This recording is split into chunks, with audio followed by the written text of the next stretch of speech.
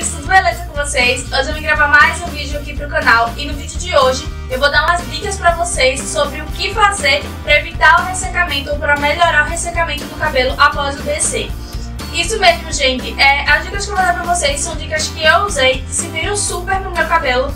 É, lembrando que o meu cabelo é, foi ótimo o período que eu cortei ele, por conta que eu não tive problema em relação ao scab hair, porque sabe que é scab hair, o cabelo não consegue formar o cacho depois que você corta ele, por mais que ele seja natural.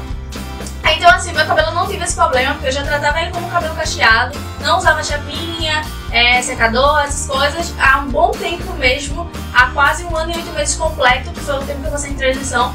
Então assim, é, o meu cabelo, quando eu cortei, já ficou todo cachedão, tipo, ficou muito maravilhoso. Ficou muito maravilhoso. Mas acontece que, assim, é, ficou ressecado, né? Eu, tipo, ele ficou cacheado, mas ficou ressecado. Conta que, querendo ou não, eu usava muito shampoo só na raiz. Quando eu cortei ele tava curto e tudo mais. Mas aí hoje eu vou dar dicas pra vocês do que foi que eu fiz, tá? São dicas simples, baratinhas e rápidas que você vai, é, tipo, fazer o seu cabelo e eu tenho certeza que vai funcionar. Então, a primeira dica é sempre faça humectação no seu cabelo. Ou seja, sempre faça nutrição no seu cabelo. Sempre com óleos naturais, tipo azeite de oliva, fazia muito com azeite de oliva. Óleo de rísino, azeite de extra virgem, óleo de rísino, é, óleo de coco extra virgem, tá? É todos esses óleos assim naturais que você conseguir, você faz porque, mano, dá super certo, o cabelo fica super, super, super nutrido e não fica aquele negócio ressecado Principalmente assim, nos primeiros dias que você tiver com o cabelo pós-BC. Depois que você cortar a parte química, a química dele, deixa só o cabelo natural, é ideal que você faça a nutrição. A hidratação normalmente a gente faz o quê? De 3 em 3 dias. Então, no começo eu fiz a nutrição de 3 em 3 dias. E contava 3 dias, depois de fazer hidratação, eu fazia nutri nutrição. E aí eu fui fazendo durante assim, a primeira semana. Aí na segunda semana eu já mudava, comecei a fazer bastante hidratação, bastante hidratação no cabelo. Lembrando também uma coisa que, gente, vocês precisam fazer é, além de vocês usarem os óleos para nutrir o cabelo de vocês, vocês precisam usar os óleos dentro do creme da hidratação e puro mesmo para você poder passar no seu cabelo depois que ele estiver seco. Vai ajudar muito, muito, muito, muito mesmo. Lembrando também que você pode, assim, normalmente as pessoas fazem só o óleo extra virgem, azeite de oliva extra virgem, separado. Eu não, eu juntava os três óleos, óleo de rísino, óleo de coco, óleo de oliva extra virgem, juntava e passava no cabelo e dava um brilho enorme. O ressecamento acabava muito rápido e foi isso que eu fiz.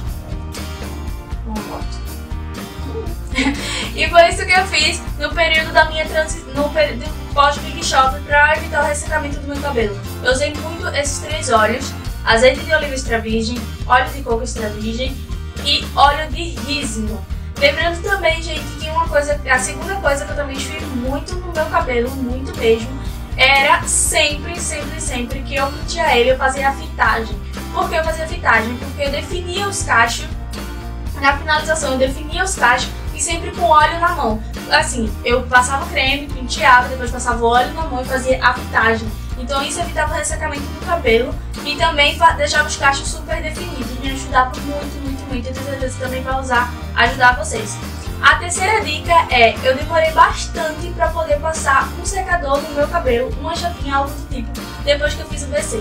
Eu fiz o BC em abril e eu vim passar uma chapinha, um secador no meu cabelo em agosto. Então assim, foi um tempo, né? Abril, maio, junho, julho, agosto. Depois de cinco meses que eu vim passar o secador chapinha no meu cabelo, que eu até alisei pra vocês verem. Vou deixar até o link aqui na descrição e aqui no card também pra vocês darem uma olhada.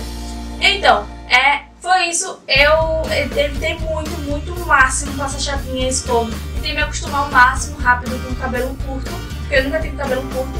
Mas assim, me ajudou muito o meu cabelo para ele não ficar ressecado evitava também contato muito assim no sol, em relação ao sol, em relação à água, né? Porque a água da torneira sempre vem com cloro. Então, assim, é, eu tenho muito cuidado, não lavava o cabelo todos os dias. Tentava evitar, assim mesmo, o máximo é, de petróleo. Essas coisas assim, que prejudicassem o cabelo, que desse um ressecamento nele. E também, eu acho que essa é a quarta dica. a quarta dica é em relação aos cremes. Gente, pra você não ficar com seu cabelo ressecado, você utiliza bastante cremes para cabelo cacheado. Hoje em dia eu já utilizo creme para cabelo liso, meu cabelo tranquilo e dá super certo.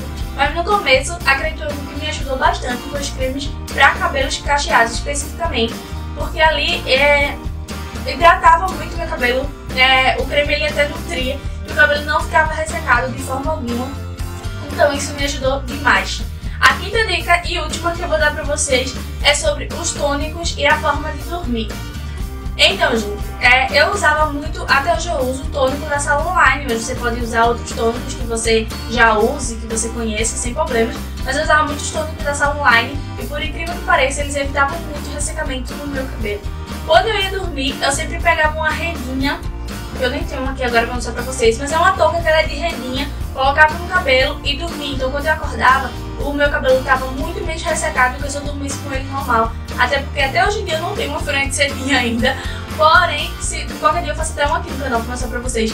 Porém, é, eu também não tinha no começo, então não tinha antes, não tenho agora. Mas assim, eu usava essa touquinha e ajudava super mesmo, porque meu cabelo ficava super definido, super nutrido, é, com todas essas dicas juntas. E foi isso que eu consegui chegar ao resultado do meu cabelo, que eu vou deixar uma foto com ele aqui solto, ó, pra vocês verem como é que ele está hoje em dia, tá? Então é isso, gente. Espero que vocês tenham gostado. Se vocês gostaram, dê like. Não esqueça de clicar aqui embaixo, se inscreve aqui no canal. Ative o sininho de notificações, tá? Pra não perder nenhum vídeo. Porque se você ativa o sininho, você recebe os vídeos em primeira mão. Você acompanha todos os vídeos. E também, gente, comenta aqui embaixo, tá? Se você já usou alguma dessas dicas. Como é que tá o seu cabelo. É, eu vou adorar saber. Se você também já usou algum desses óleos, se você faz alguma dessas dicas. E é isso, se você vai fazer também. E é isso, espero que vocês tenham gostado. Beijo e até o próximo vídeo. Tchau!